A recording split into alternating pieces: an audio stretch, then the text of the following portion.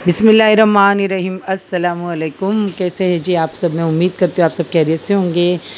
ये था सुबह का वक्त और हल्की हल्की बारिश हो रही थी और यहाँ पे मैंने अपने लिए एक अंडे को बॉईल किया था और ग्रीन टी बना ली थी और मैंने ग्रीन टी को पी लिया था। आज इसके बाद चलते हैं रेसिपी के तरफ़। तो मैंने आज आपके लिए रेसिपी लाई हूँ।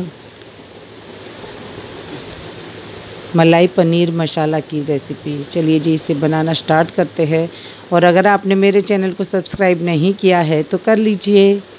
और माशाल्लाह से रेस्टोरेंट से भी बहुत बेहतर बनता है और बहुत कम सामान से बनता है। यहाँ पे मैंने वन टेबल स्पून के करीब ऑयल ले लिया था फ्राई पैन में। उसमें मैंने दो मीडियम साइज़ की प्याज को और एक टमाटर को कट करके डाल दिया है। और आठ से दस मैंने काजू लिए थे, वो भी मैं इसमें डाल दूँगी। और सारी चीज़ों की मैं पाँच मिनट के लिए अच्छे से बुनाई कर लूँगी। और इसके बाद मैं इसमें हाफ़ ग्लास के करीब पानी डाल के इसको ढक के ऐसे ही छोड़ दूँगी। और पानी सूख जाएगा ना, तब मैं इसका एक पेस्ट रेडी कर लूँगी।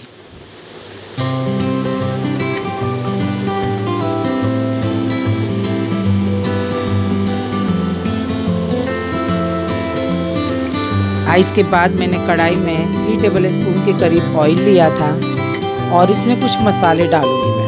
इसमें मैं साबुत जीरा भी नहीं डालूँगी और अदरक लहसुन का पेस्ट तो बिल्कुल नहीं डालूँगी। इसके बाद मैंने लाल मिर्च पाउडर लिया था one table spoon one table spoon धनिया पाउडर हाफ़ टेबल स्पून हल्दी और हाफ़ टेबल स्पून ही लिया था मैंने कश्मीरी लाल मिर्च पाउडर और वन टीस्पून के करीब लिया था भुना हुआ जीरा पाउडर और सॉल्ट अपने टेस्ट के हिसाब से। अब सारी चीज़ों को मैं कढ़ाई में डाल दूँगी और थोड़ा से पानी डाल के इसके अच्छे से भुनाई करूँगी ताकि मसाले जले नहीं और मसाला अच्छे से भुन जाए। और माशाल्लाह से रेस्टोरेंट से भी बहुत अच्छे से डिश बन जाती है, ये ज़रूर ट्राई कीजिए और बहुत कम सामान में। है इसके बाद मैंने जो काजू और प्याज, टमाटर का जो पेस्ट रेडी किया था ना, वो मैं इसमें ऐड कर दूँगी। और इसकी अच्छे से बुनाई करूँगी मैं। और जैसे ही ये भून जाएगा ना, पाँच मिनट के लिए इसको ढक के पका लूँगी। और इसके बाद मैं इसमें वन टेबल स्पून के करीब कसूरी मेथी डालूँगी हाथों से क्रश करके।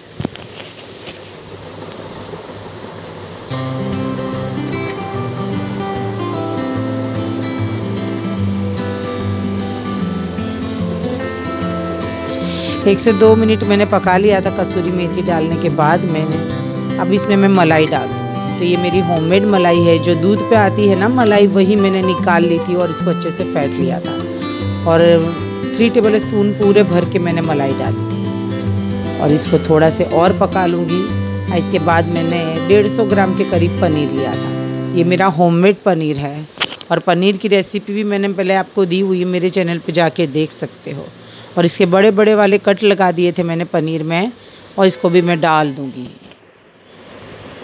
और मैंने आज फ़ीस भी बनाई थी तो माशाल्लाह से फ़ीस की रेसिपी भी मैंने कई बार आपसे शेयर की हुई है। तो मैंने फ़ीस मसाला बनाई थी और उस पर धनिए के पत्ते भी थोड़े से चॉप करके डालूँगी और मेरी ये फ़ीस भी अच्छे से रेडी हो चुकी थी। और उधर पनीर भी मेरा रेडी हो गया था तो मैंने डिस आउट कर दिया है इसे। और आपको आज की मेरी ये मलाई पनीर मसाला की रेसिपी कैसी लगी मुझे कमेंट में ज़रूर बताएँ जी। मेरे वीडियो अच्छे लगते हैं तो लाइक दीजिए, आगे शेयर भी कीजिए और कमेंट बॉक्स में मुझे ज़रूर बताना।